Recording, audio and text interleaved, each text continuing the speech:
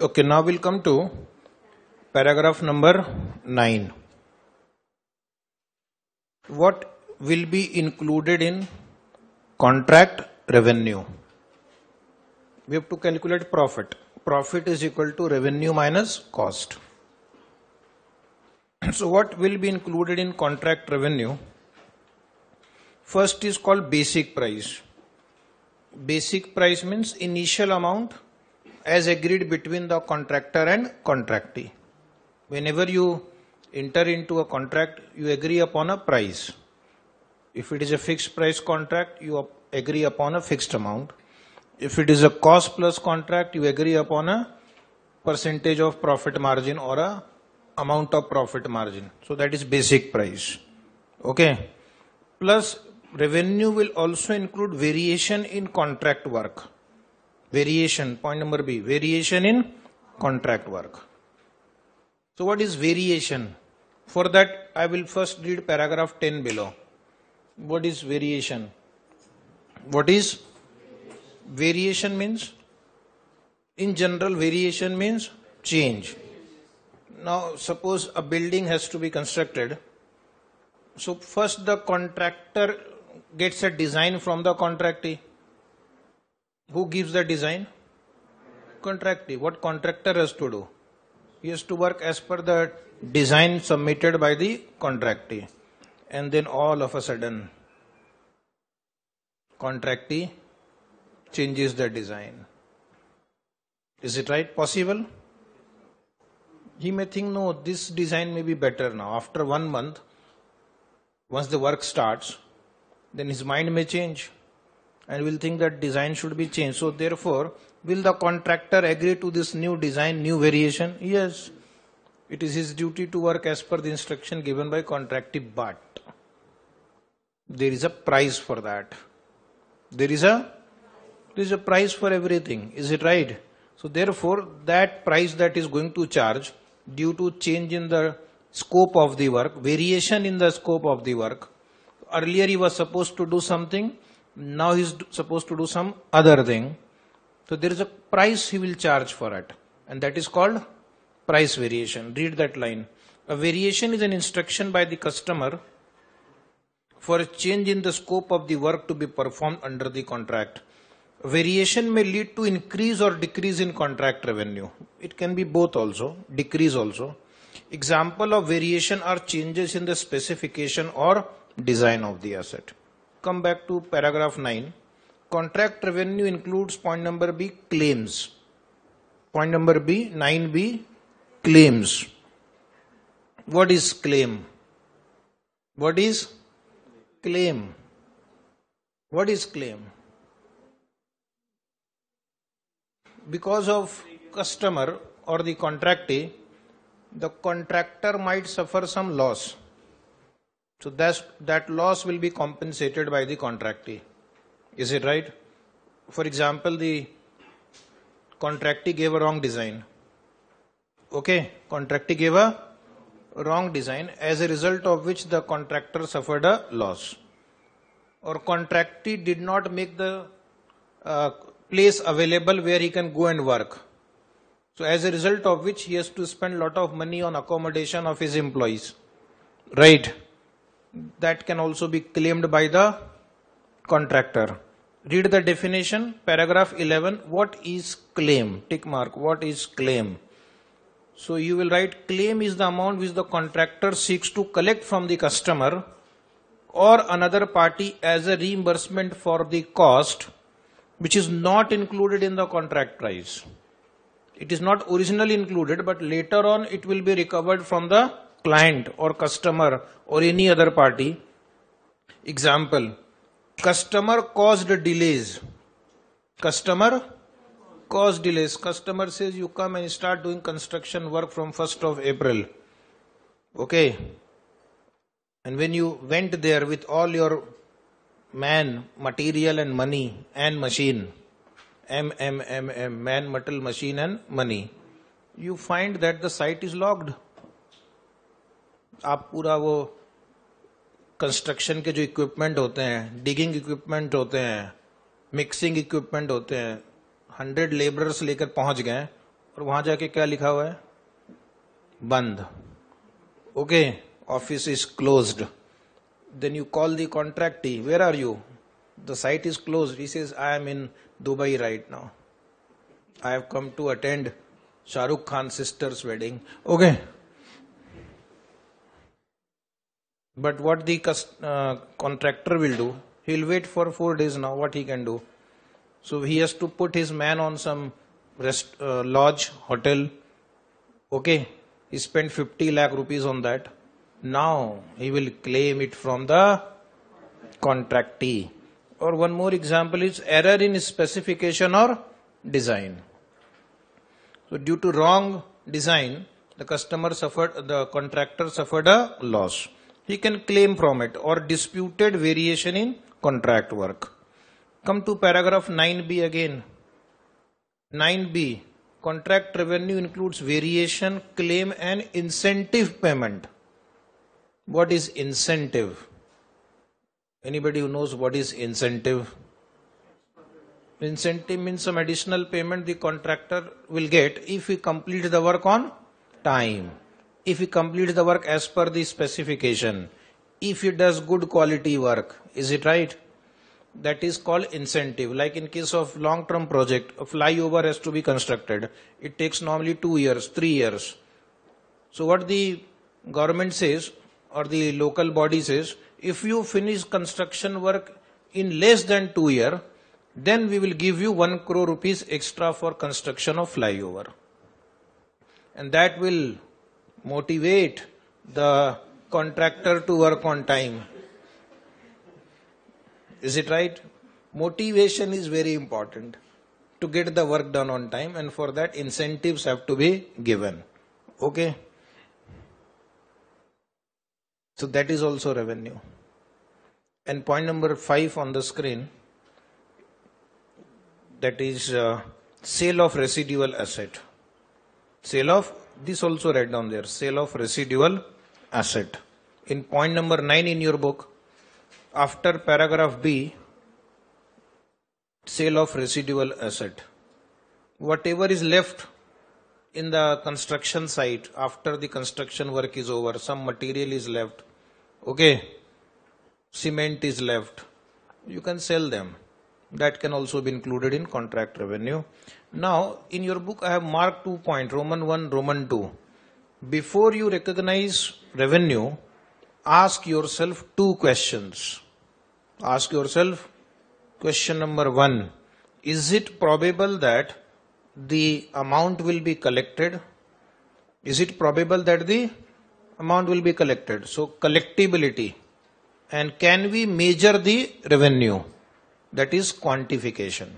Only if these two conditions are satisfied, revenue will be recognized. Only if these two conditions are satisfied, quantify, quantification and collection. Suppose you raise a claim on the contractee, but contractee may refuse to pay. Contractee may refuse to pay. Will you recognize it as a revenue? No, because then collection is not certain. Or suppose the contractee says that if you finish this construction of flyover in less than uh, two years, we'll give you one crore rupees extra. You have just started construction work. You have, and you are assuming that we'll be able to receive the incentive. Should you recognize incentive revenue? No, it is too early to say that incentive will be received. Only when the work is nearing completion only when the work is nearing completion. When you are very sure that the incentive will be received, that time only you should recognize incentive as a revenue, not at the start starting stage only. Concept of prudence. Concept of prudence. So quantification means measurability should be there and collectibility should be there. Same applies in accounting standard 9 also. Same applies in AS9 and AS7 have one common element.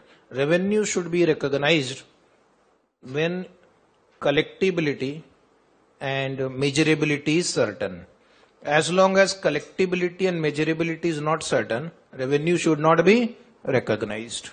So this is common in AS9 also. Those who have studied AS9 will remember. Okay. So can we move to the next part now? Cost. Come to paragraph 13 below. What will be included in contract cost? What will be included in contract cost?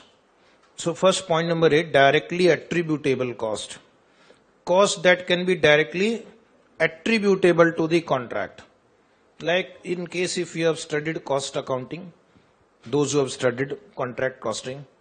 So which are the directly attributable cost? Example, direct material, direct labor, depreciation of fixed asset which is used in the construction site.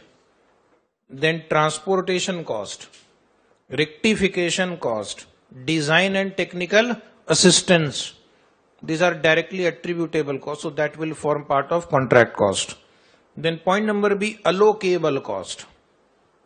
Sir, what is allocable cost? Those which can be allocated to contract activity in general. Those which can be allocated. Sometimes one expenditure is incurred over two contract. Example in your book, insurance. So insurance will be allocated over different contract. Example, construction overhead. Example of construction overhead supervisor salary.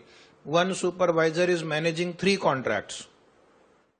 Possible. Morning 7 to 10, one contract.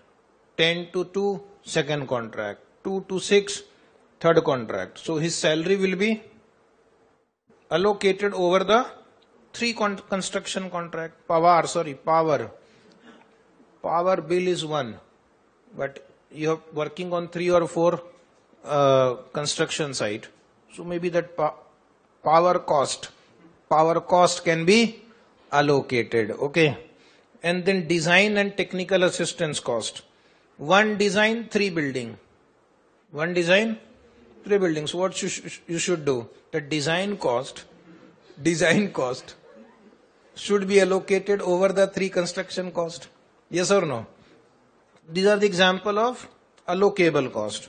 And third example is those which are specifically chargeable to the customer under the terms of the contract.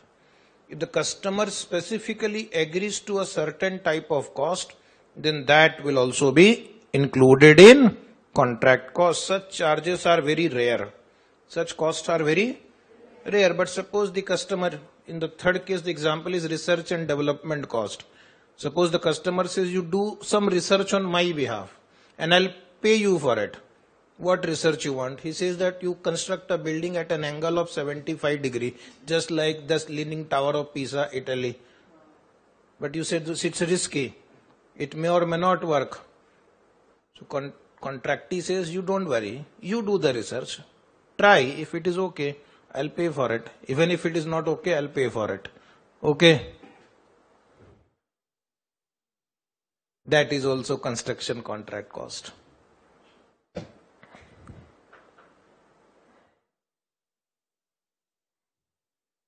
Some example of direct cost. I have written in your book in brackets, so don't write. Direct material, direct labor, depreciation of fixed asset.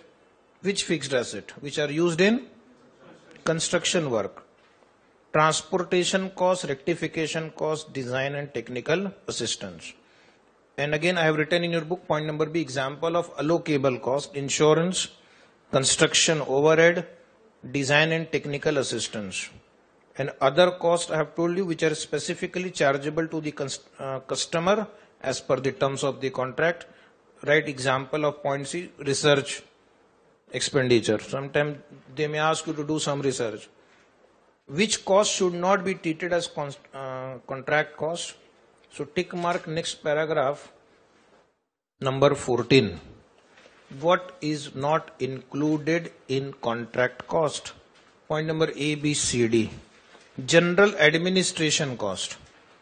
General administration cost will not be treated as contract cost. Then selling and distribution cost. Okay. Then R&D cost unless the customer agrees to pay for it for which reimbursement is not specified in the contract. If it is specified, then it is a part of contract cost. And point number D in your book, depreciation of idle plant and equipment which is not used on a particular contract. So if plant and machinery is used only for six months for a contract, for a construction contract, then depreciation of only six month will be treated as contract cost and depreciation for six month will not be treated as contract cost. Is it right? So this gives you an idea about revenue and cost. Now, the main part of this chapter starts now. Main part. So what was the previous two pages? That was introduction. How should revenue and cost be recognized? How should revenue and cost be recognized? So on the screen, first line says everything using percentage completion method.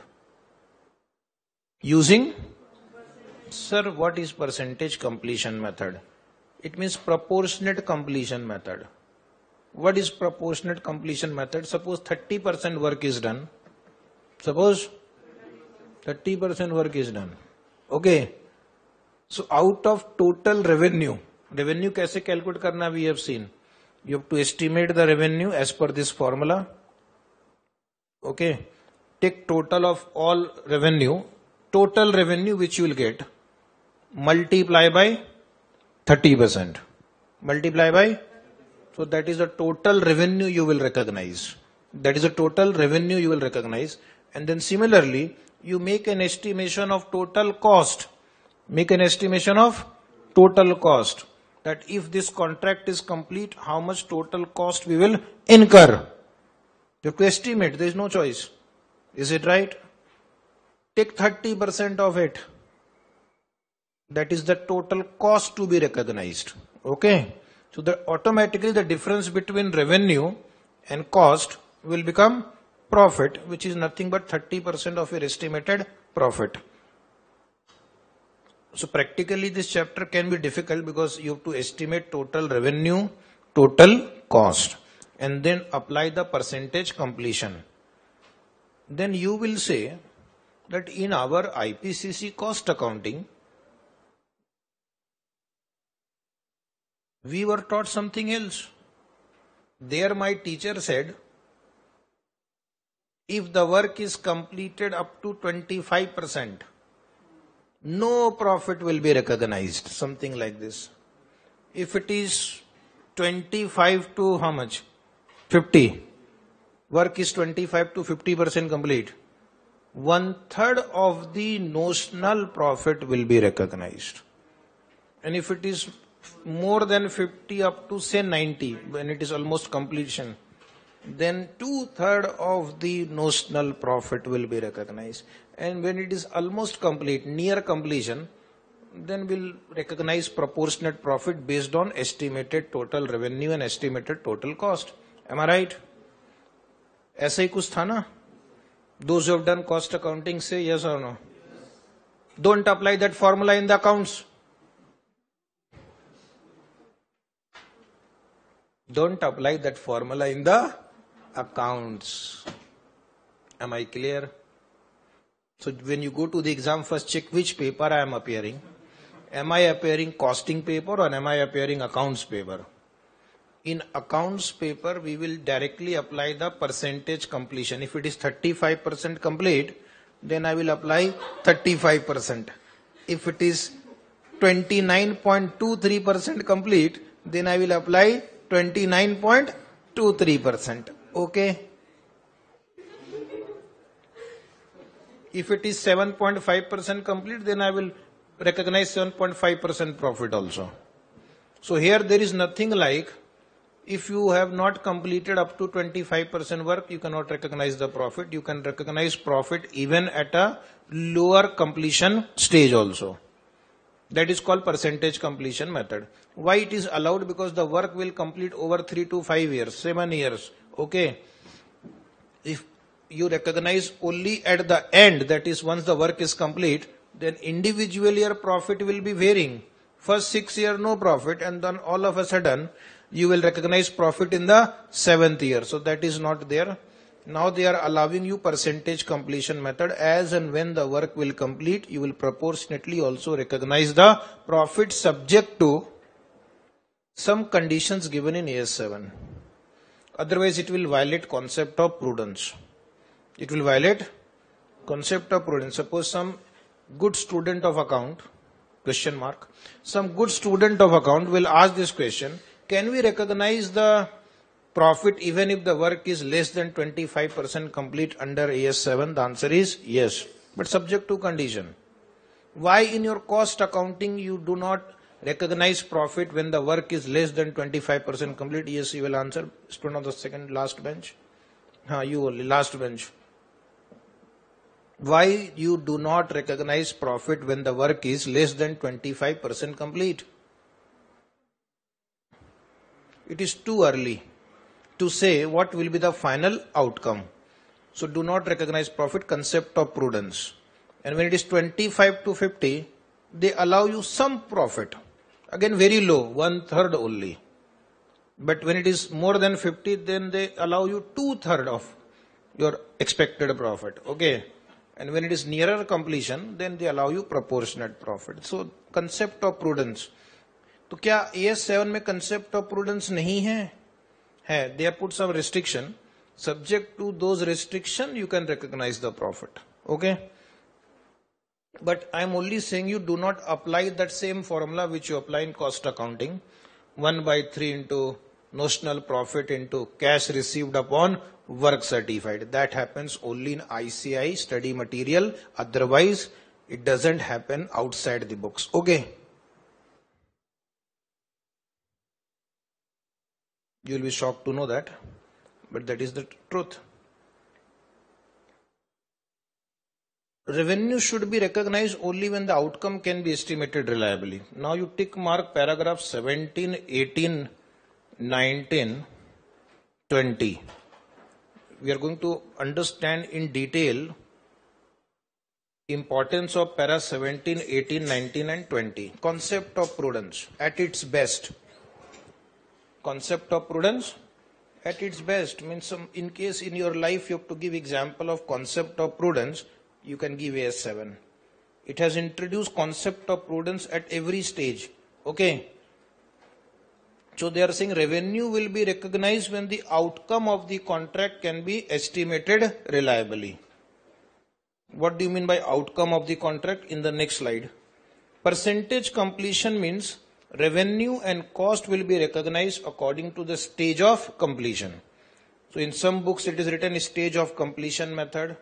In some book it is written percentage completion method. Some books write proportionate completion method.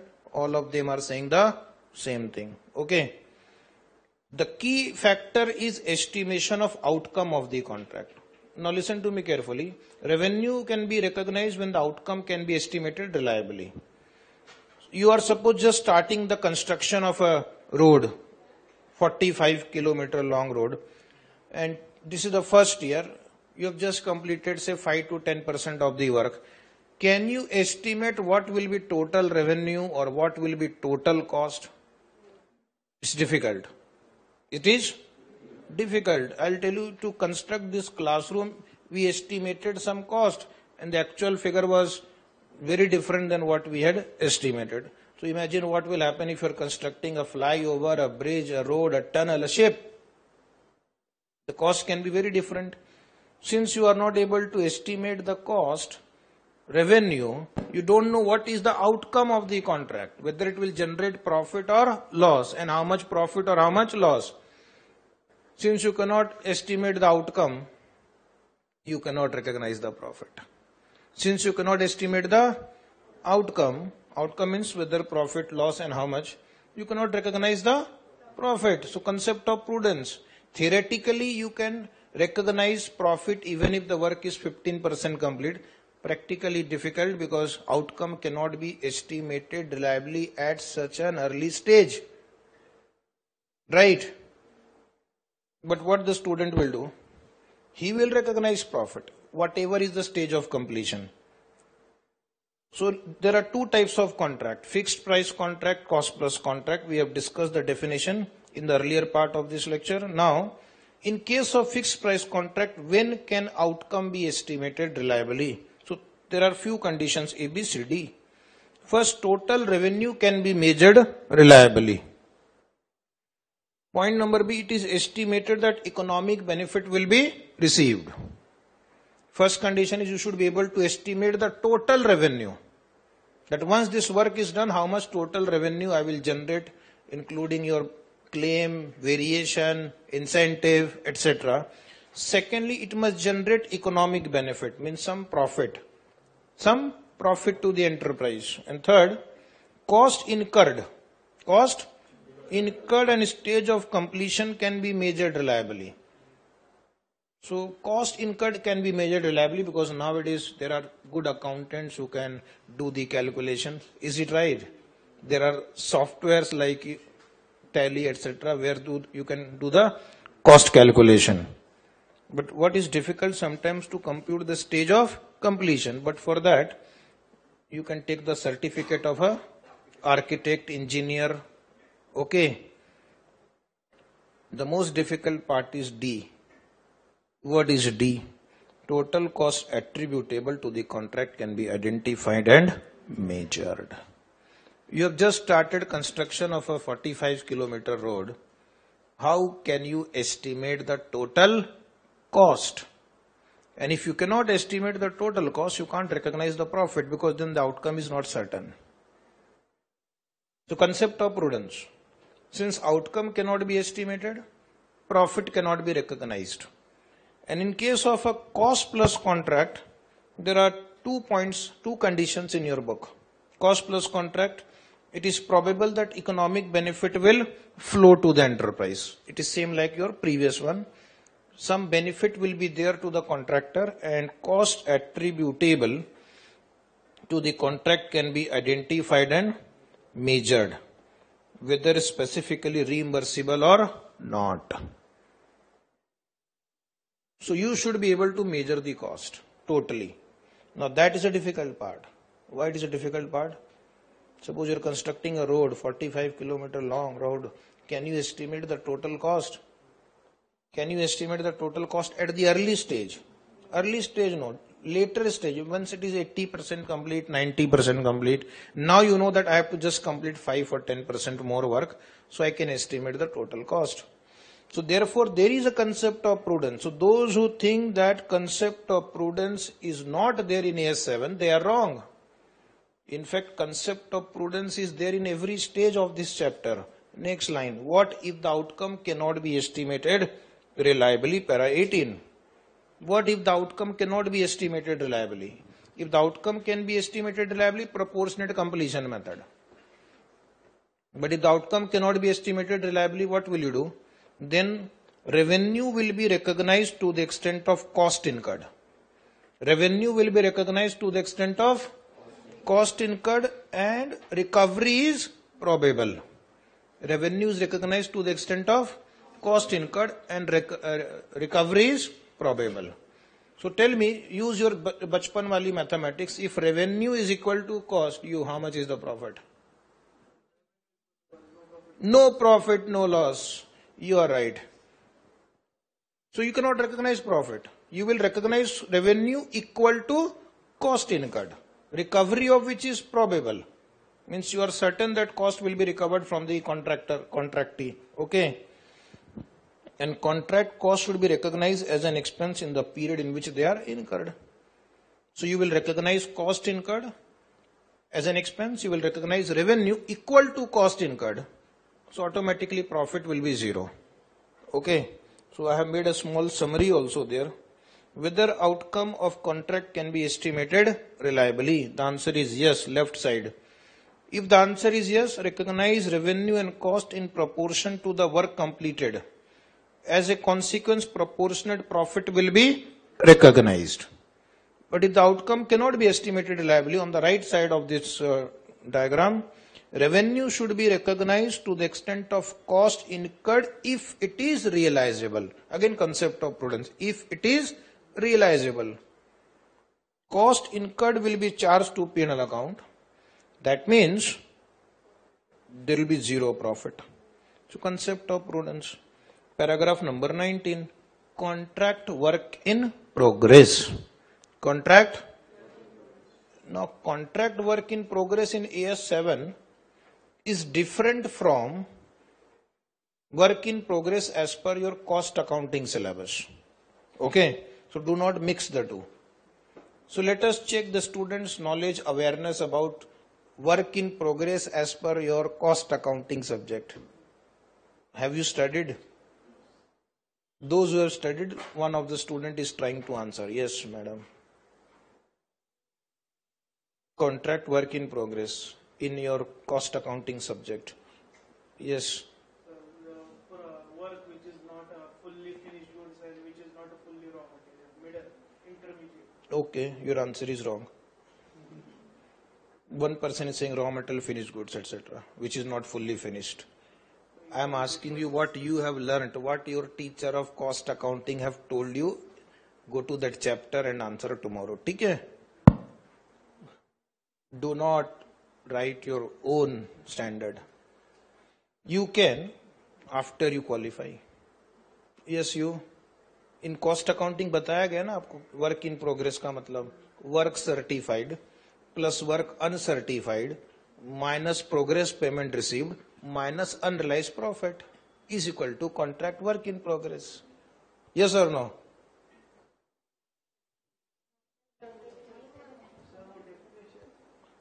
some students are saying we have not yet completed good news enjoy ignorance is bliss knowledge is dangerous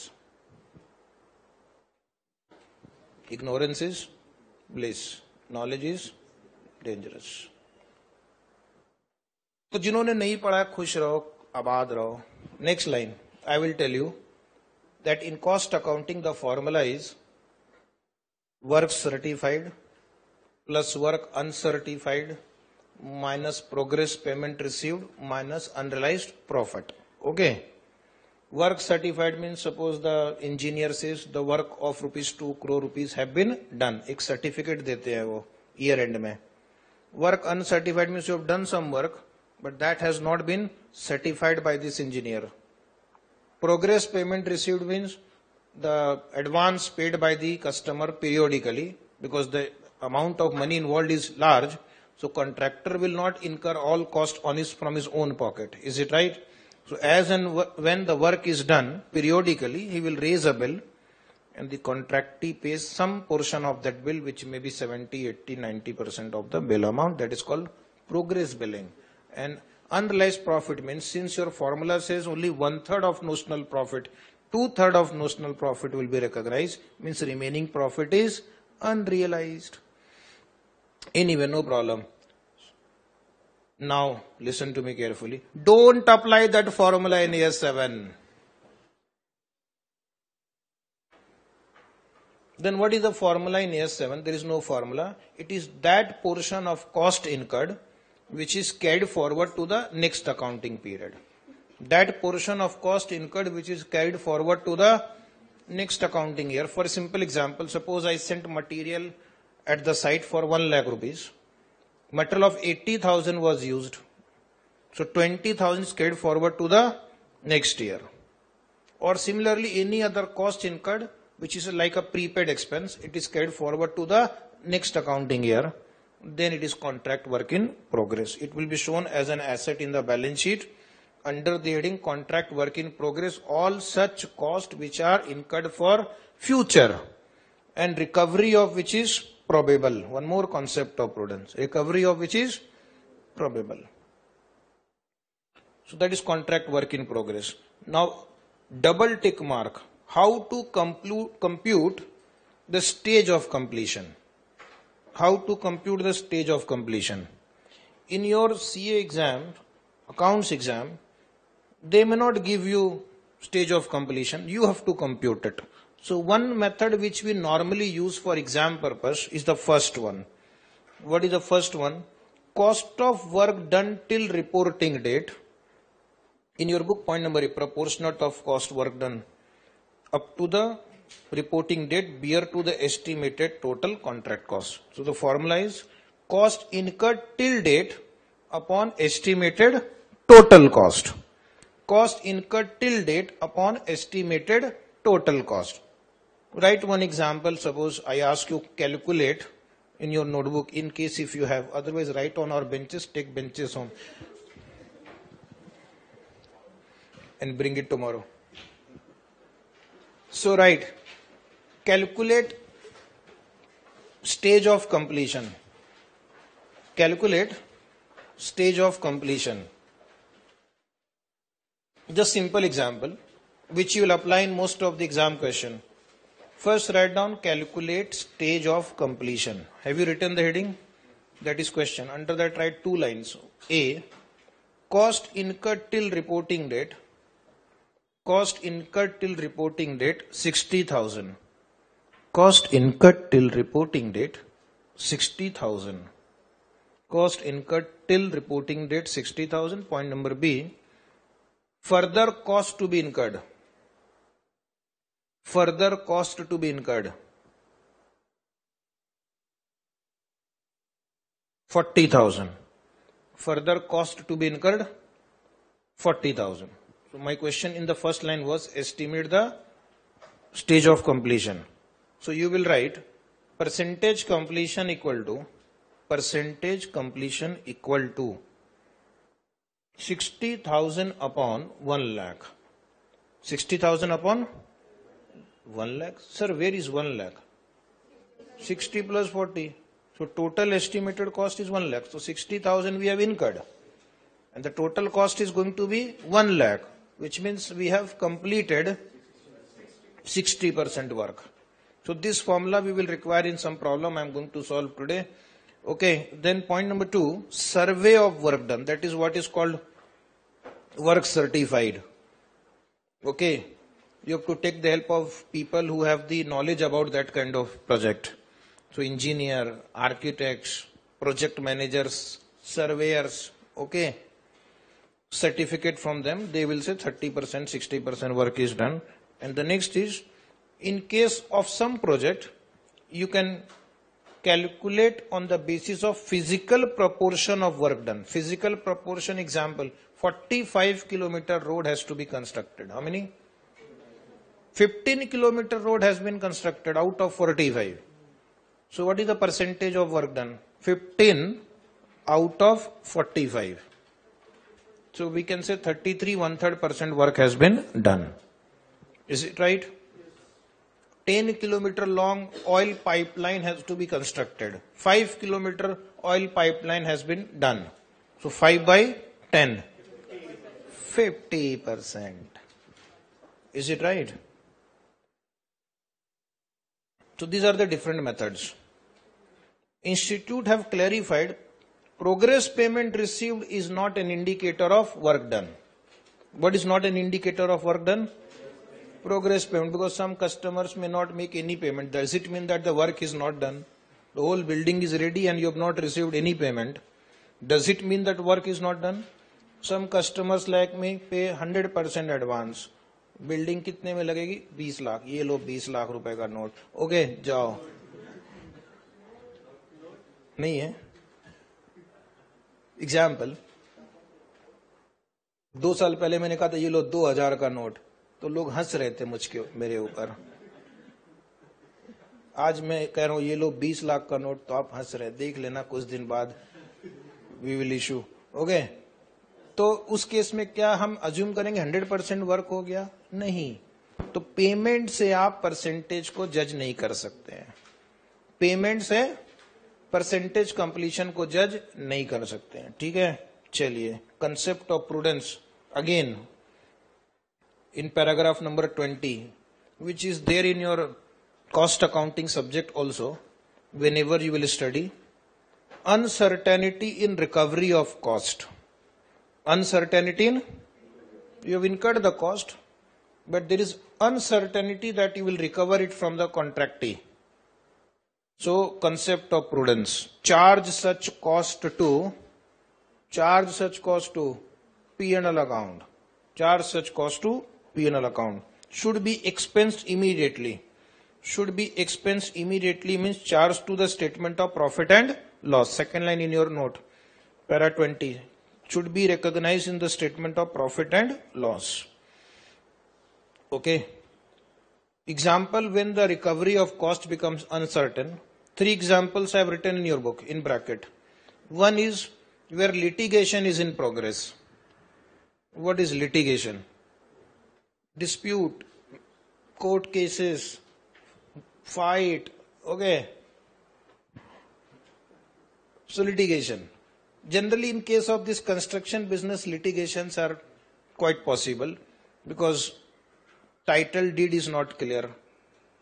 Then there is some भाई भाई झगड़ा करने लग जाते हैं। Is it right बाप और बेटे झगड़ा करने लग जाते हैं। तो ये ज़मीन चीज़ ही ऐसी है। सो so, लिटिगेशन मतलब वो दोनों लड़ेंगे और आपका पैसा फंस गया ठीक है? कॉन्ट्रैक्टर का पैसा फंस गया। तो उसको कहाँ भेजेंगे? पीएनएल अकाउंट हम अकाउंटेंट हैं। We are not fighting. We have to just give the treatment. Contractor is unable to work further. Okay, con contractor has become insolvent now. He does not have money, resources to continue further. Whatever money has incurred will also be transferred to P&L account. And the last point is enforceability of a doubt is claim is doubtful. In the starting part of this chapter, I said revenue includes claim revenue includes claim. So you have issued a invoice to the contractee. That see because of your mistake i had to incur this extra cost. Contractee says i am not responsible. You are responsible. You did not read the contract carefully. You have employed unskilled people. You did not do supervision properly. Okay i will not pay. So what will you do p&l account we are accountant will not fight. And it happens in construction business that contractee raises, contractor raises the claim and contractee refuses to pay. Now one more concept of prudence. Concept of prudence तो इन्होंने ऐसा घोट घोट कर डाल रखा है इसमें कूट कूट कर भर रखा है paragraph 22 okay okay. recognition of expected loss. Recognition of expected loss. What is recognition of expected loss? Understand. Suppose we started work. Okay. 10% work is complete. And now my calculation says the total cost will exceed the total revenue total cost may exceed total revenue so there is going to be a loss in this project there's going to be a loss in this project. So what concept of prudence is? Anticipated loss should be recognized. On this matter, the institute asks question every year on this paragraph. They will give you a project where there is going to be a loss and then the institute is asking you how much total loss will be recognized. Full loss will be recognized. How much loss?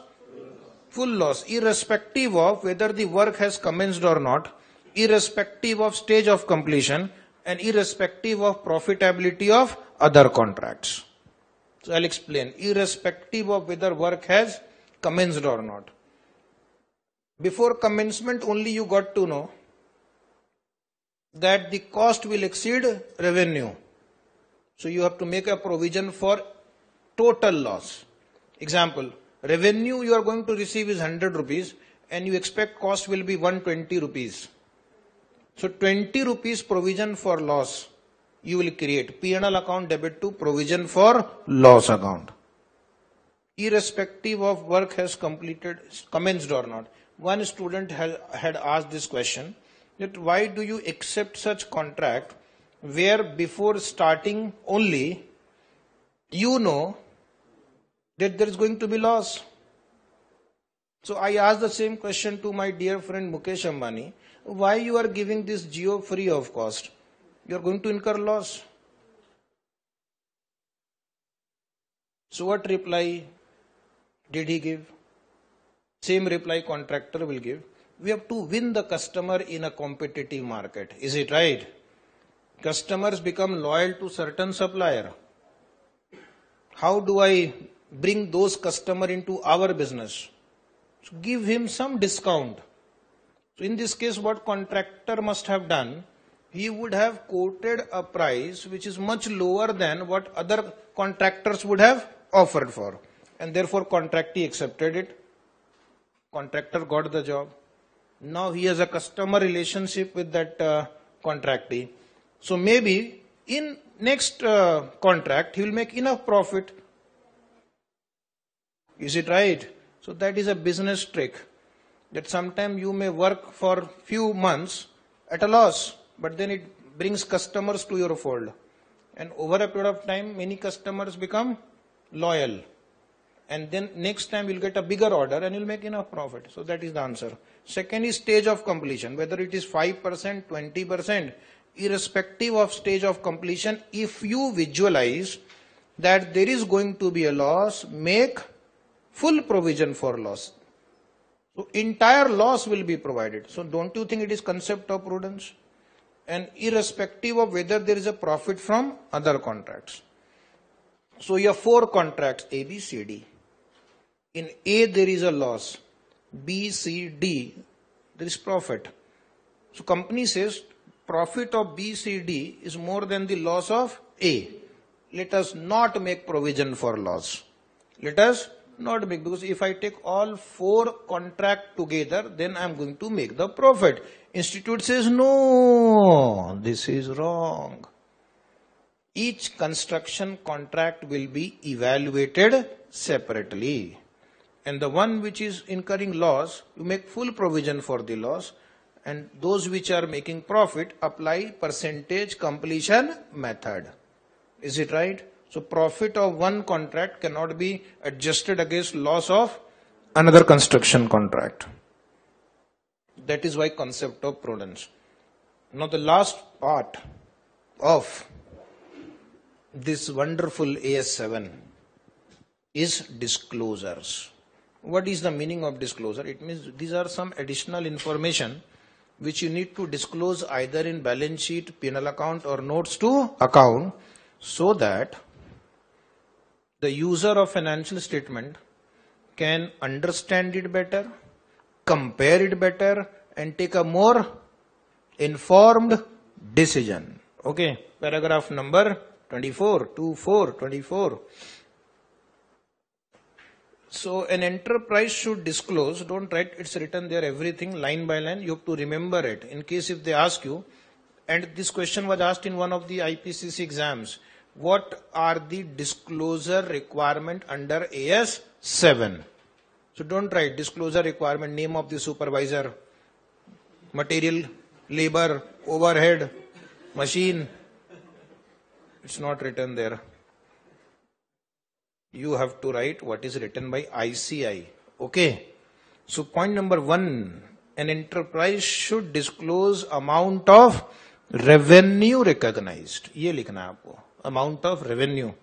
Second method used to determine the amount of revenue recognized. How is the revenue calculated? So you will say fixed price contract, cost plus contract, revenue includes variation, claim, incentive. Is it right? So whichever formula you use to compute revenue, disclose. And method used to determine the stage of completion. I have given you three examples. One was cost incurred upon estimated total cost. Second was survey of work done. And third was physical proportion of work done. In addition to that, if you have used any other method for calculating stage of completion, that will be disclosed. So will you be able to remember so much? Yes. Paragraph 2 in your book. This is also disclosure requirement. An enterprise should disclose the following for contract in progress at the reporting date. Underline. Contract in progress at reporting date means those contracts which are not yet complete. Those contracts which are under still construction, development or whatever. ये contract अभी चल रहे हैं balance sheet के दिन they have not yet got over so what are the disclosure requirement for contract in progress what are the disclosure requirement for contract in progress a the aggregate amount of cost incurred अब तक कितना total cost incur हो चुका है the aggregate amount of cost incurred and recognise profit less recognised losses और उस पर कितना हमने प्रॉफिट या लॉस रिकोगनाइज कर लिया है up to the reporting date total cost incurred aggregate means cumulative start से अब तक total cost incurred and any profit और loss recognized. And second is amount of advance received. Amount of, if you have received any advance from customer, then that will be disclosed. It is the amount re- received before the related work is completed. And third, you have to disclose the amount of retention. What is retention? Retention means that portion of the invoice, bill, which is not paid by the customer or contractee. Is it right? Suppose you raise a bill of 100 rupees, the customer pays only 80 rupees, 20 rupees he retains with himself. Why is retention there in such business? Why is retention there in such business? To ensure that the contractor works on time to ensure that contractor works as per the specification, to ensure that the quality of the work is not compromised. Is it right? It should not happen that you make him the full payment and next day the bridge collapses. He has received the payment, he has run away. So what the government does, they will give you only 75% of the bill. 25% will be released after one year or two years because they want to see whether this bridge will survive for that one or two year period or not. Is it right? And he will make the contractor also drive his vehicle on that bridge for two, three days first. That is also condition. If I am given a chance, I'll put it. Okay. You first drive. What is the benefit of keeping this 20 25% retention? The idea is that generally in a contract, the profit margin is 20, 25, 30%. Is it right? What you have paid to the contractor, the cost that he has incurred. But what was the real motive of the contractor to make profit? So that profit you have not yet given to him. And you will not give it to him if the contract has some problem. So we'll wait for six months, one year, two years, and then release that funds. So this ensure that the contractor works according to time, specification, design, and quality. Okay. That is retention. That amount of retention will be disclosed. Then third disclosure is point number three. An enterprise should present. An enterprise should present gross amount due from customer for contract work as an asset. Gross amount due from customer will be disclosed as an asset and gross amount due to customer for contract work will be shown as a liability. Now in paragraph number 4 they have given you the formula to calculate gross amount due from customer and gross amount due to customer. So what is the formula? Gross amount due from customer for contract work is the net amount of net amount means a minus b okay whenever the word net amount means you are going to take difference between two figures is the net amount of cost incurred plus recognized profit less sum of recognized losses and progress billing so what i'll do i'll give you one formula right you have to add cost incurred. And then I'm going to give you one example also. First you write down cost incurred plus recognized profit. We'll discuss some num- numerical example to understand this. Minus recognized loss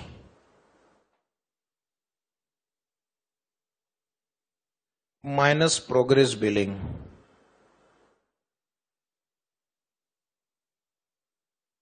minus progress billing. So this two you add, this two you less. So what is the net output? If the net output is positive, it is called gross amount due from customer.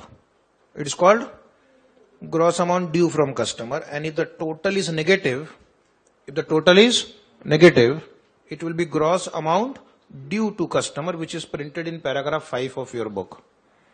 So in case if you don't want to remember two formula, then one formula only, cost incurred plus recognized profit minus recognized loss minus progress billing.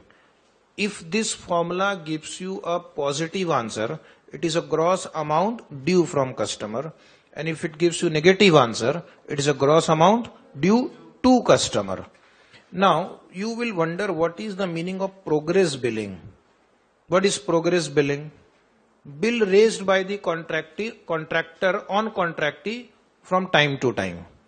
Bill raised by contractor on contractee from time to time as the work progresses. Now suppose this is a 10 story building, example, okay. First story has been completed.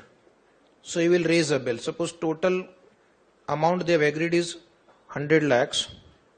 After completion of this 10% work, he will issue a bill of 10 lakh rupees. Is it right? So that is called progress billing. Again, some work is done. Again, he will issue a bill of 20 lakh like this. So periodically they keep on issuing the bill so that the customer will keep on making the payment. Otherwise, the contractor will not invest so much money from his own pocket. The contractee has to keep on reimbursing him the cost that he is incurring after getting the progress billing from the uh, contractor. ठीक है? So that is how this business work. Contractor will start the work. First he incurs the cost himself and then he raises the bill and recovers the money from the customer. So the bill raised on the customer is called progress billing. Okay. Paragraph 5 in your book. The amount due to customer for contract work is the net amount of sum of recognized losses and progress billing. They have reversed that formula. Less cost incurred plus recognized profit. For all contract which are in progress for which progress billing exceed the cost incurred plus recognized profit less recognized losses. So if you are not able to remember so much, four lines, cost incurred plus recognized profit minus recognized losses minus progress billing, if positive, amount due from customer, if negative, amount due to customer. And the last disclosure now, be happy, this is the last paragraph of AS7. Enterprise should disclose any contingency in accordance with AS4. What is AS for? Contingencies and event occurring after the balance sheet date इतना बड़ा नाम है उसका, ठीक है? Contingencies and event occurring after the balance sheet date any contingency will be disclose as per A S four now you make one small change there what is that now contingency is covered by which standard A S twenty nine तो this A S four you make it A S twenty nine Why? Because contingencies are covered by AS29. Originally, it was covered by AS4. So you can write AS29. Contingency means suppose any liability arises subsequently, okay, which is paid or not to be paid will depend on some future event. Then it is called contingency, disclosed under AS29. Example of contingency. Contingency may arise from items such as warranty cost, penalties, or possible losses. Now take out your notebook. We will write journal entries the contractor should pass. So write down journal entries in the books of contractor. Suppose you are asked to pass journal entries. What will the student do? This is not printed in the book. This one has to learn on his own, interpret on his own. So we are in our notebook writing in the books of contractor journal entries. If you want to become a good accountant, only one thing you have to learn properly. Which is that thing? Entries. Rest all will be taken care of. Entries की posting posting से ledger ledger से trial balance trial balance से final account this are all mechanical work where is the intelligence is writing the original entry in writing the entry that is the skill of the accountant afterwards computers will take care of everything जब आप tele या कोई भी accounting software use करते हैं तो आपका role कहाँ तक रहता है? एंट्री करने का। उसके बाद Computer does everything up to the balance sheet calculation. Is it right? So that is why entries are required. Right. We'll divide our entries into three parts. We'll divide our entries into part A entries which will come during the whole year. Part A entries which will come during the whole year.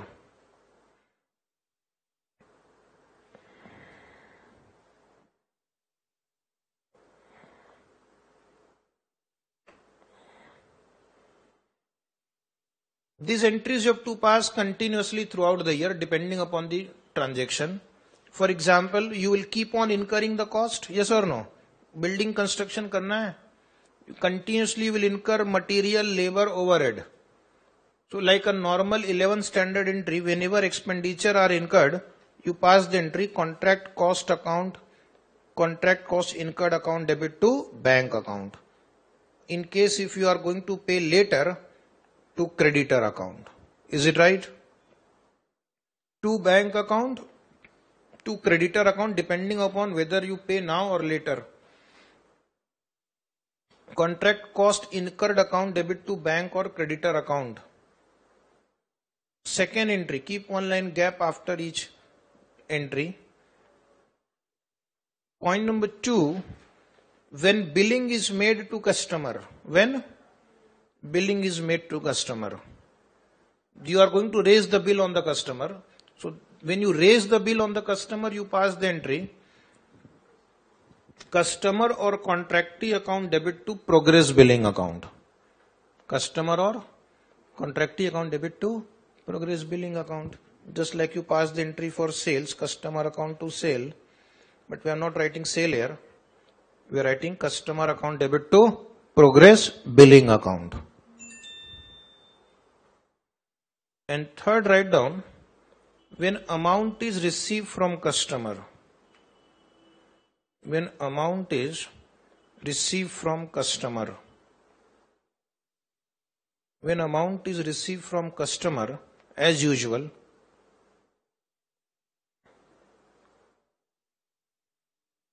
bank account debit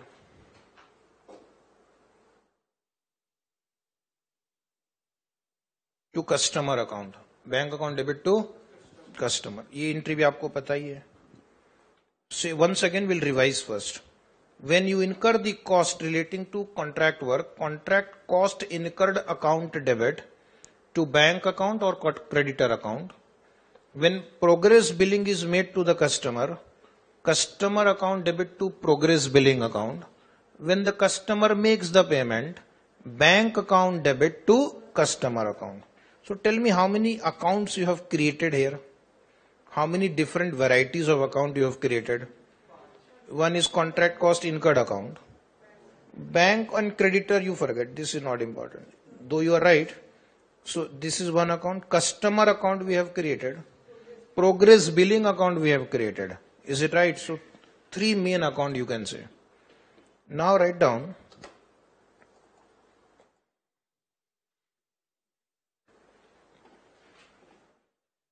wait wait don't write एक pitch ज़्यादा आगे आ गए बीच का एक station B, भी है। Computer जी नाराज़ हो गए। Now write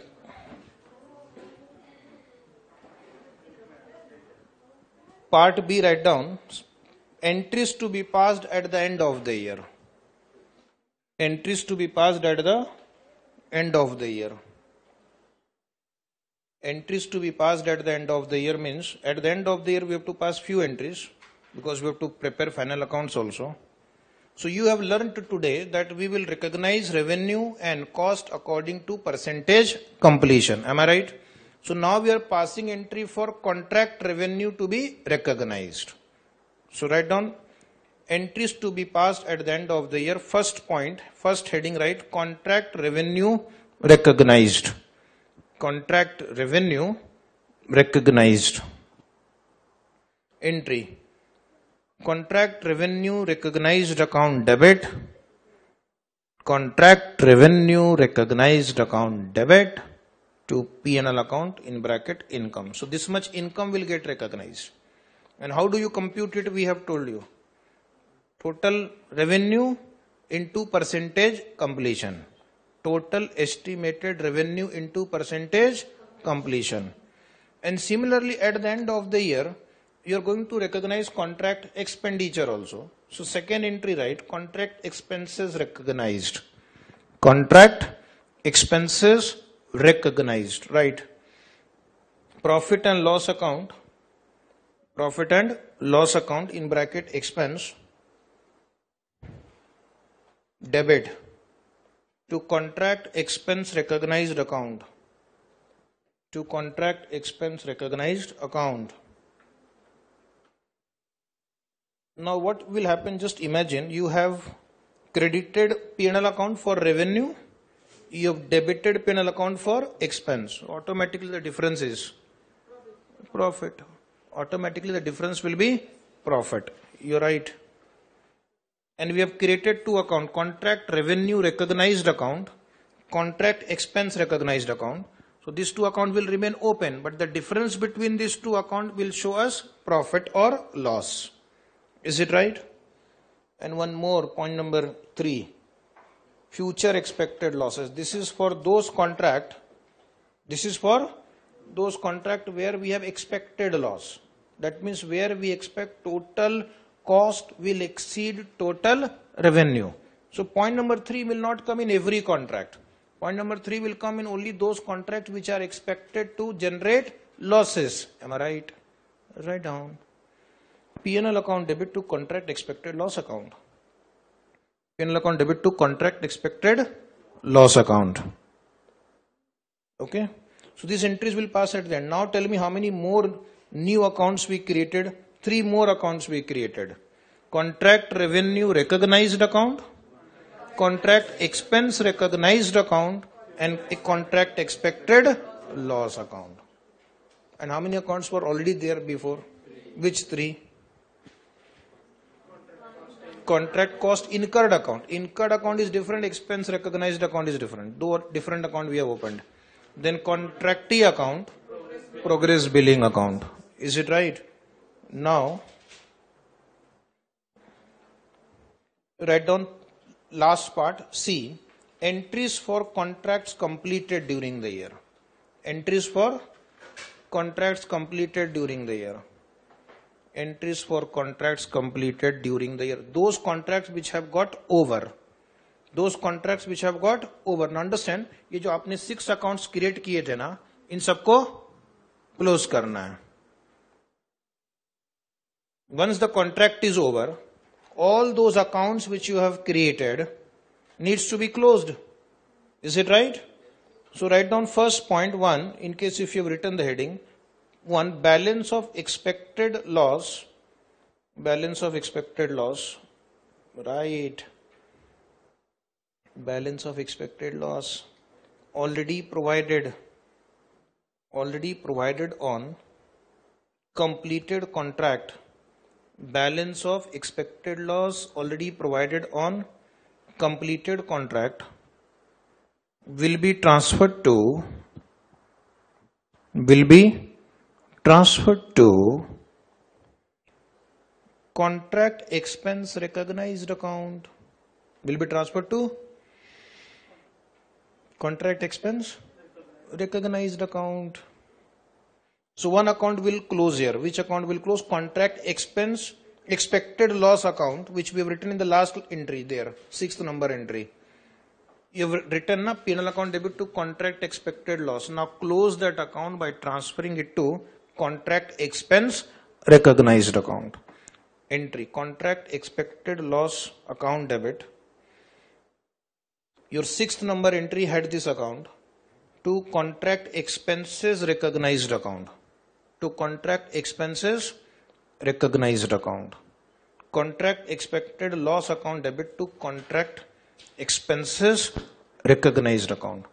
In bracket, write for your understanding, contract expected loss account will close. Contract expected loss account will close.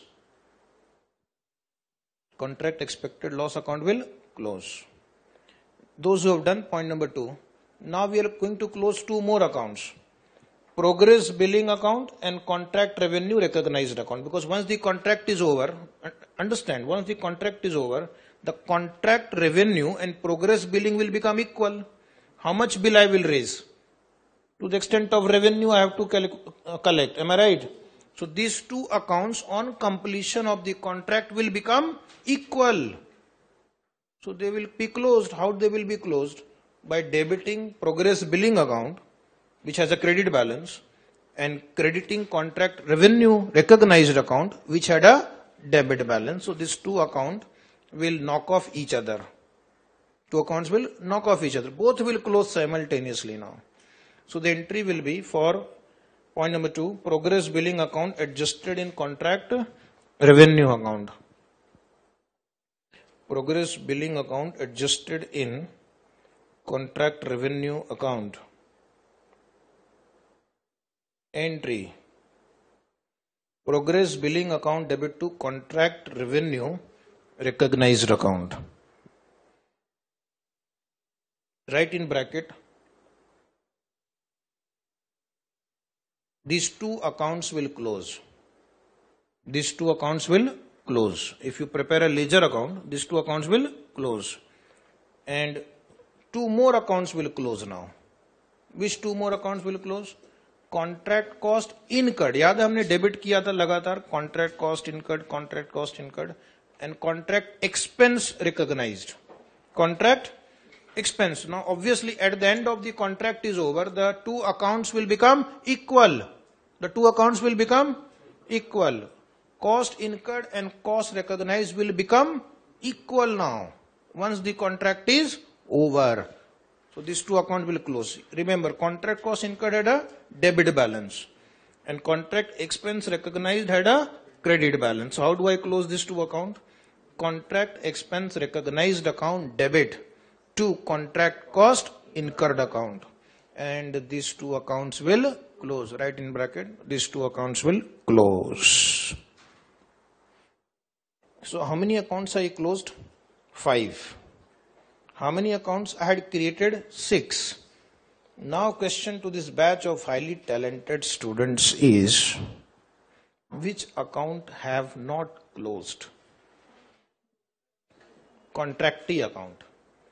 Customers account we have not closed. The reason being, it is possible some amount may still be recoverable from customer as retention money because he might not have made the full payment and therefore there may be some balance left in customer account as due from customer. The reason being some contractee may not pay the full amount even if the contract is over some amount is retained by them. So their account may show debit balance. And sometimes in some rare case he might have paid advance payment more than what was the actual amount due from him. So then it might show an advance from customer. Okay? All of you have written this nine entry post. How do I post? By preparing ledger account one by one, write quickly. Ledger accounts. Suppose they ask you, in one of the recent exams I have seen they have asked you to prepare the ledger account, which they have not taught in any books, including ICAI material. But they ask in the exam. So one has to know everything about a topic to come like rank okay? Everything you have to know. Ledger entry calculation presentation. So write down ledger account six accounts i will draw. First contract cost incurred account. And i will draw two years. The reason being in one year the contract will start and in second year the contract will end so from the beginning till the end, how the account will move till it is closed, we will see. Okay. First, contract cost incurred account, year one, debit side to bank or creditor. If you keep those nine entries in front of you, tear the page, keep in front of you. That was just a joke. To bank oblique creditor account. Every time you incur the expenditure, pass this entry to bank or to creditor and at the end of the first year, by balance, carried down. By balance, carried down. So this account will end with a debit balance. This account will end with a matlab debit side is more than credit side. So this account has a debit balance. And year two, to balance brought down. And remember that last year entry, what was the eighth number entry or ninth number entry? Just check. Ninth number entry. You have passed one entry. Contract expense recognized account debit to contract cost incurred account. So credit side by contract expense recognized account.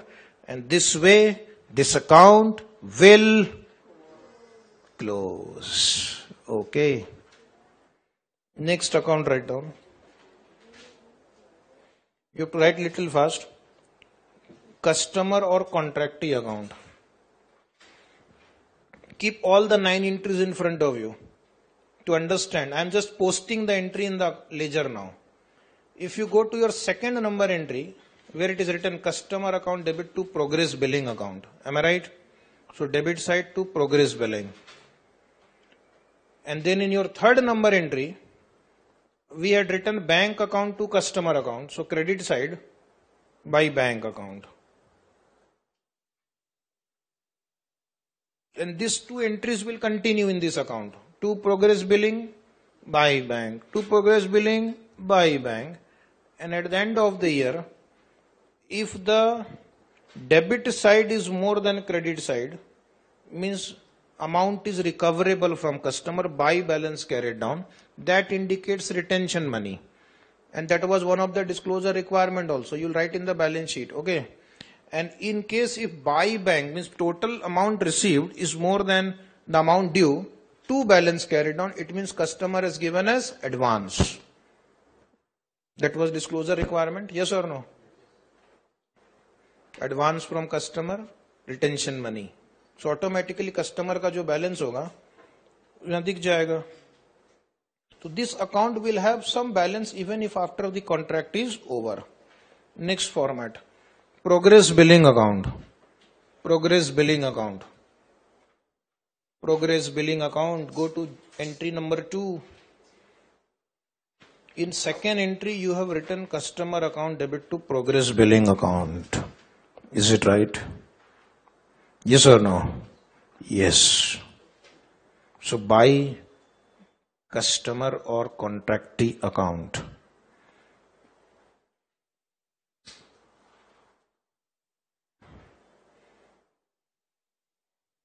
And then debit side to balance carried down. This account will repeat these entries till the contract is finally over. In the last year, when the contract is about to get over, first on the credit side, we'll write by balance brought down. And then how this account is closed, you know. It, go to your entry number 8. In your entry number 8, you have written progress billing account debit to contract revenue recognized account. So once the contract is over, progress billing and contract revenue recognized account will be set off and the two accounts will close simultaneously. So contract revenue recognized account, which means at the end of year one, this account has a credit balance. This account has a credit balance. So obviously all those accounts which will have balances will appear in balance sheet. One more entry, one more ledger.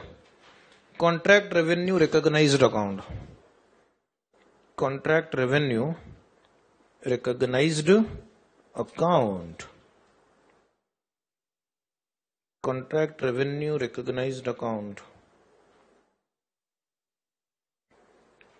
So where did you pass this entry? Fourth number entry you see in your book, fourth number entry.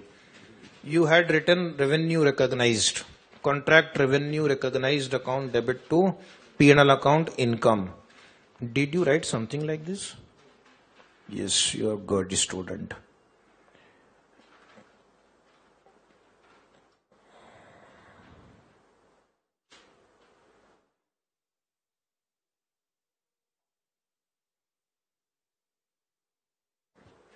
And by balance carried down. By balance carried down.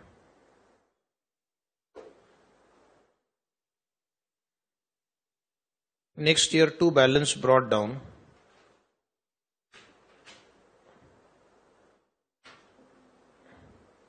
By progress billing account.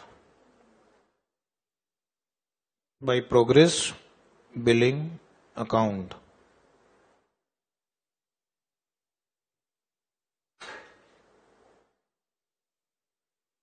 So this account will end with a debit balance. Am I right? Unless it is closed, this account will have a debit balance.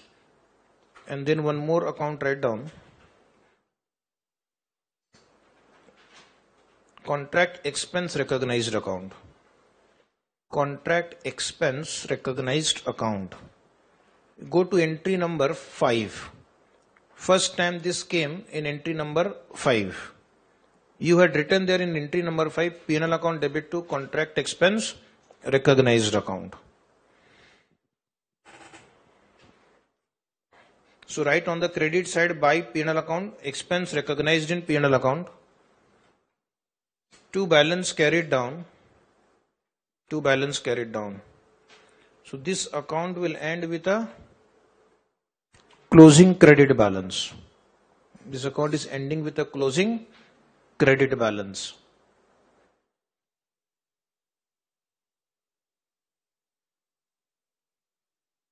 And then next year, next year,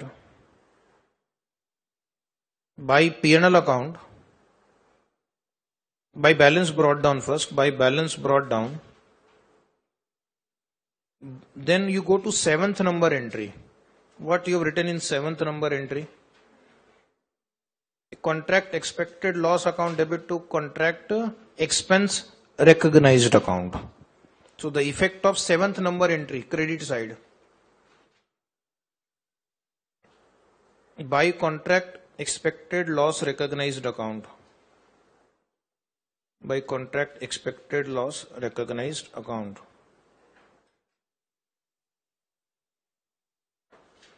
And debit side, if you remember the ninth number entry, ninth number entry. First see the entry. We are only doing the posting work, okay? From journal to ledger to contract cost incurred account and this way this account will close.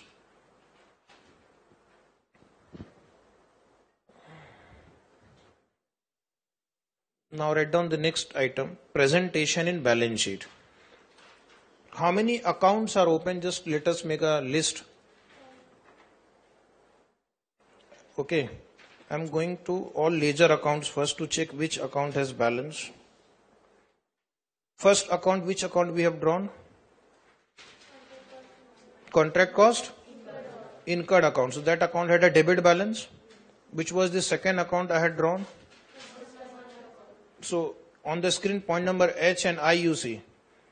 If the advance received is appear, it will appear as advance received.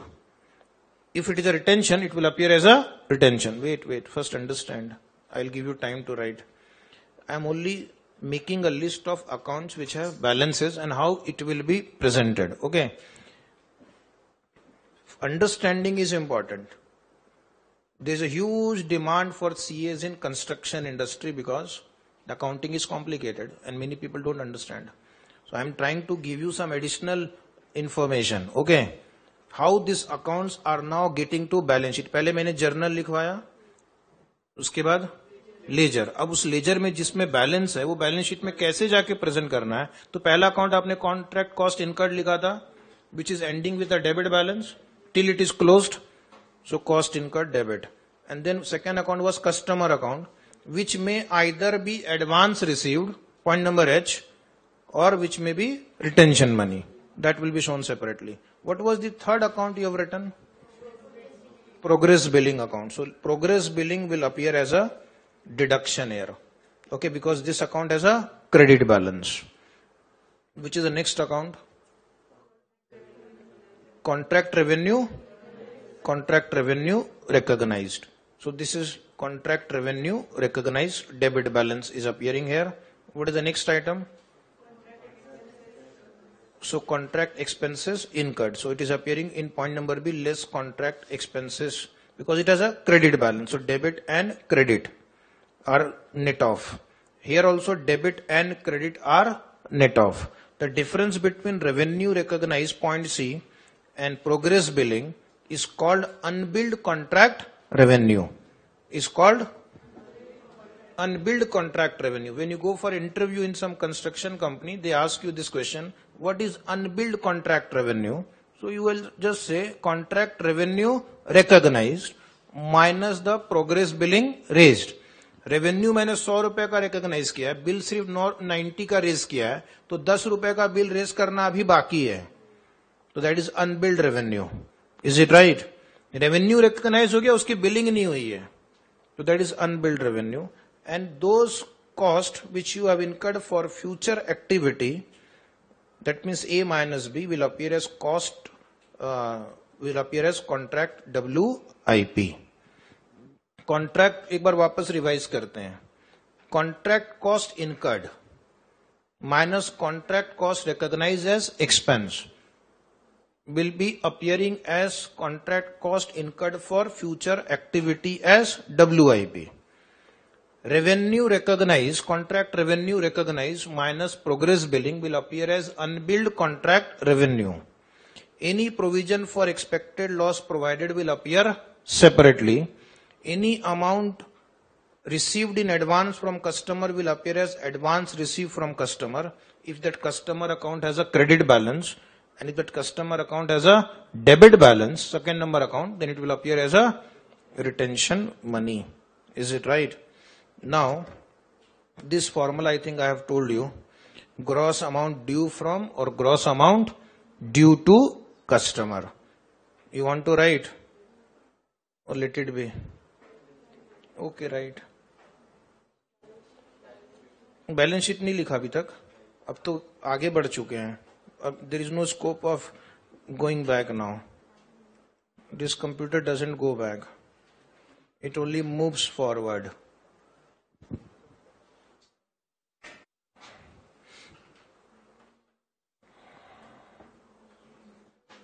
Now write down the format of balance sheet extract. How these several accounts which you have created will be presented in balance sheet. Okay. Total six accounts we had created. Total how many accounts we have created? Six accounts. And how the balances in these six accounts are presented in balance sheet.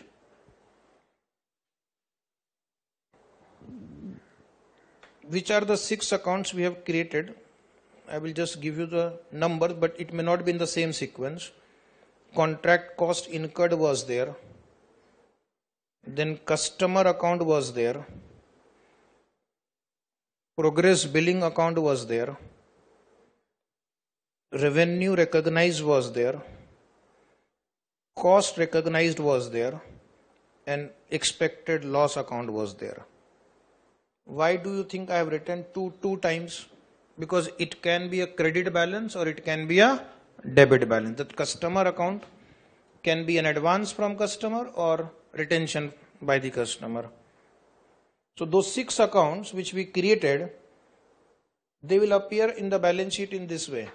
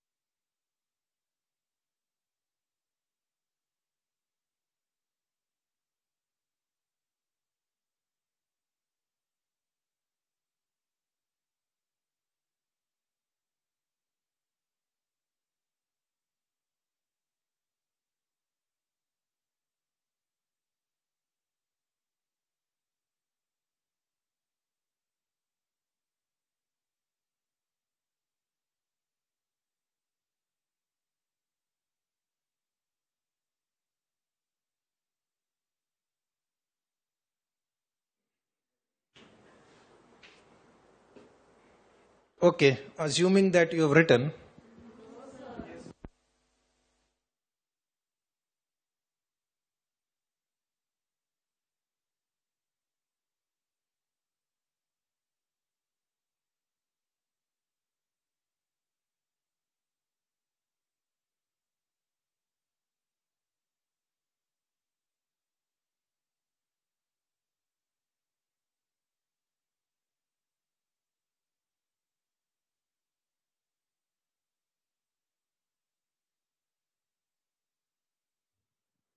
okay, assuming now you have done.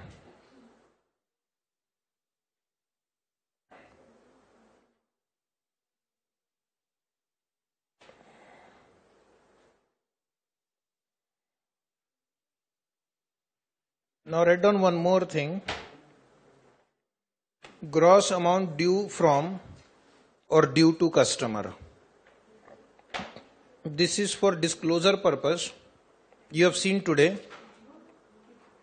in point number 3, 4 and 5 of disclosure, it was gross amount due from customer or gross amount due to customer. First write down point number A, contract cost incurred. Contract cost incurred.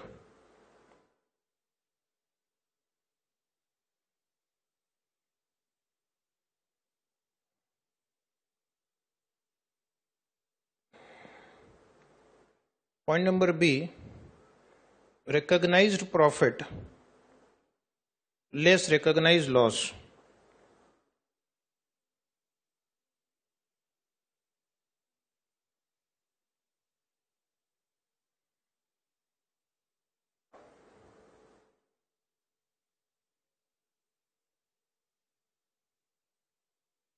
How do you compute recognized profit less recognized loss? Right in the inside one point one contract revenue recognized.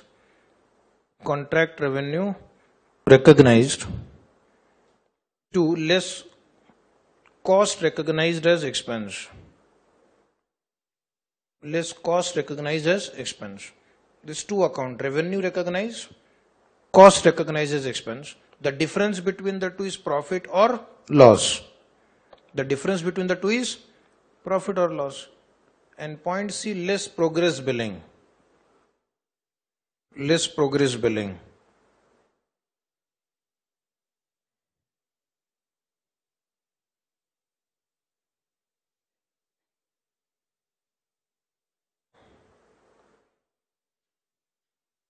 Less progress billing.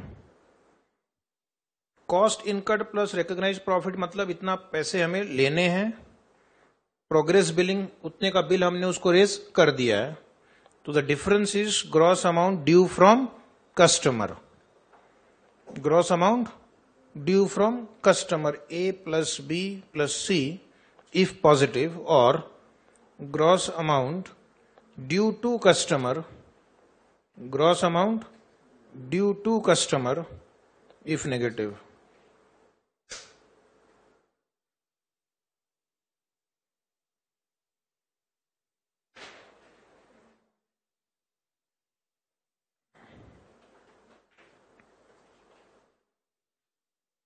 Now I am going to give you one small question. Right.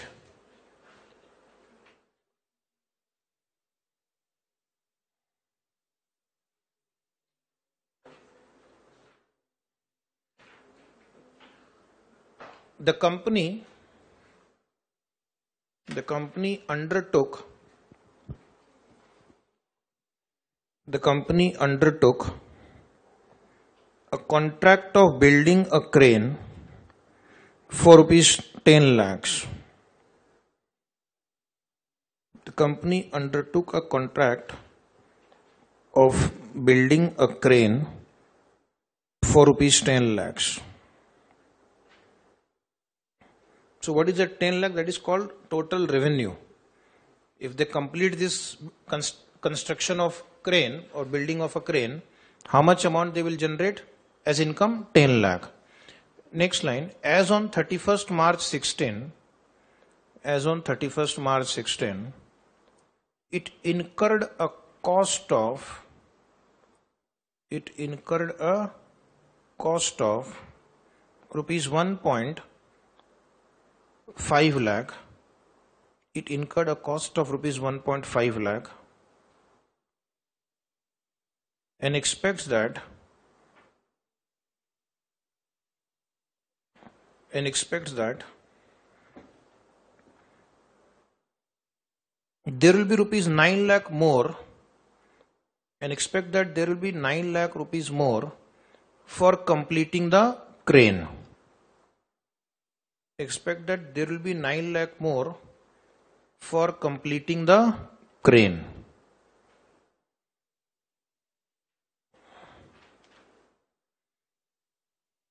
it has so far received it has so far received rupees 1 lakh as progress payment. It has so far received rupees 1 lakh as progress payment. So what is the question? The question is how much profit or loss will be recognized? Right how much profit oblique loss will be recognized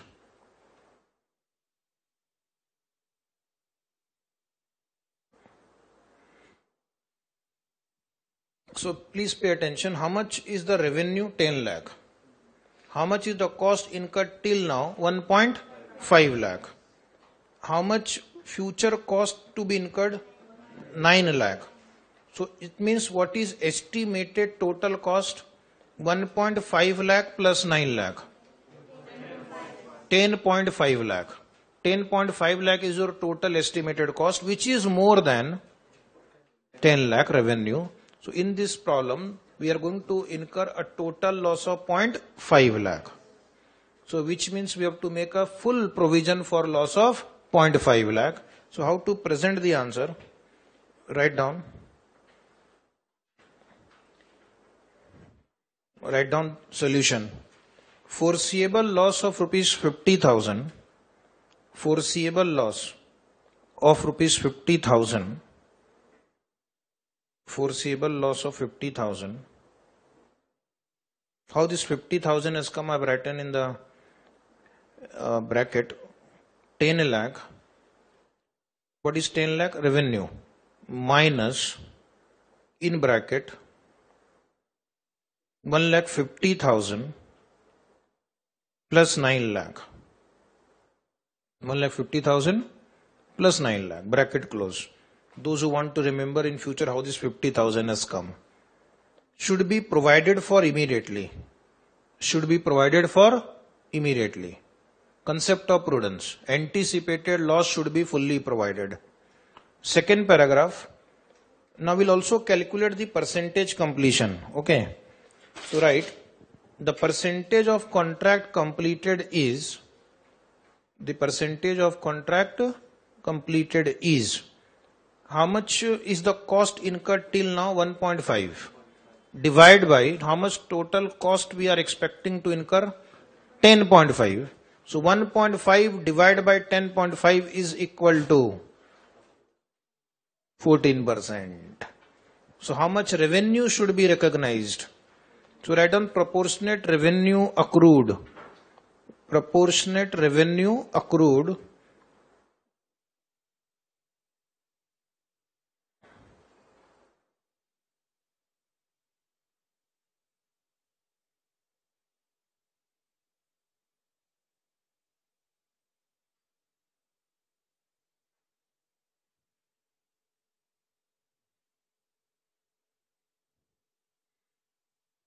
So 14% is done.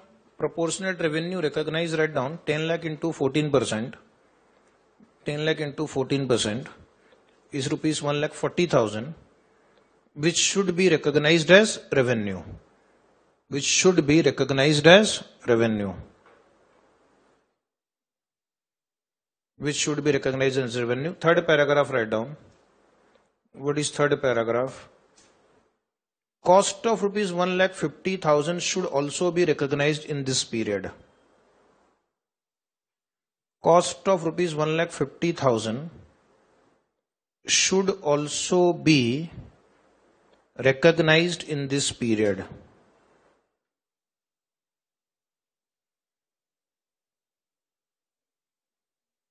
loss recognized will be rupees 50,000. Loss recognized will be rupees 50,000. So revenue recognized 1 lakh 50,000, 40,000. Cost recognized 1 lakh 50,000 and the total loss recognized will be 50,000. Why 50? Because first line says my expected total loss is 50,000. Now write down one more line. It will be presented as per AS7 revised as under presentation.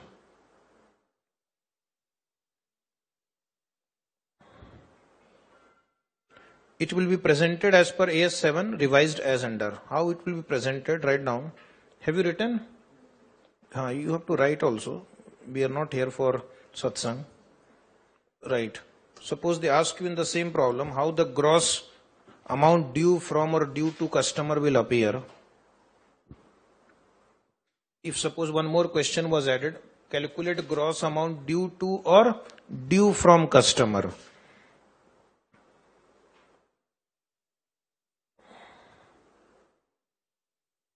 Right hand side rupees in lakhs. First point A contract cost incurred.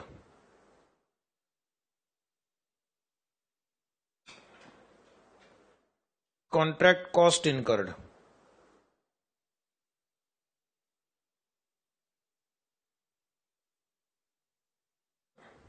Then write add profit recognized. Now profit recognized is zero in this example because we have recognized loss. Then next write down less recognized losses. Less recognized losses. Less recognized losses 0.50. Take the total 1.5 plus 0 minus 0.5. Is it 1? Yes. Less progress billing. Less progress billing.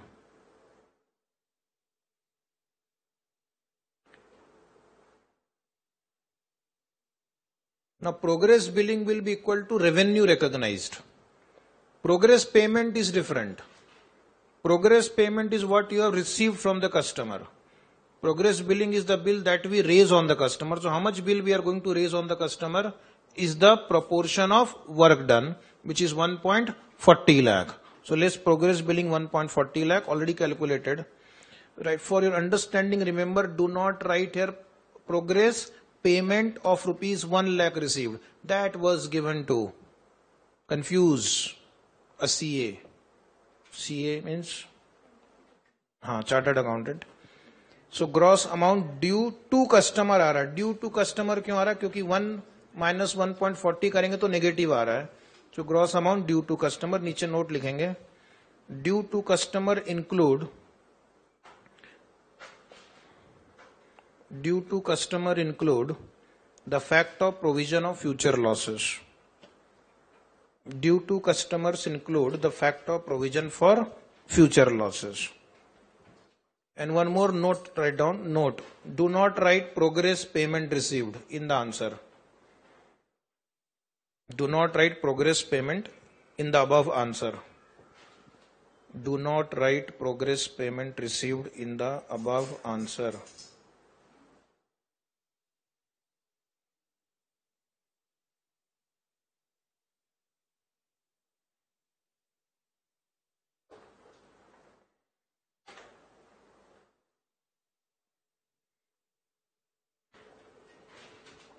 Now we'll continue tomorrow.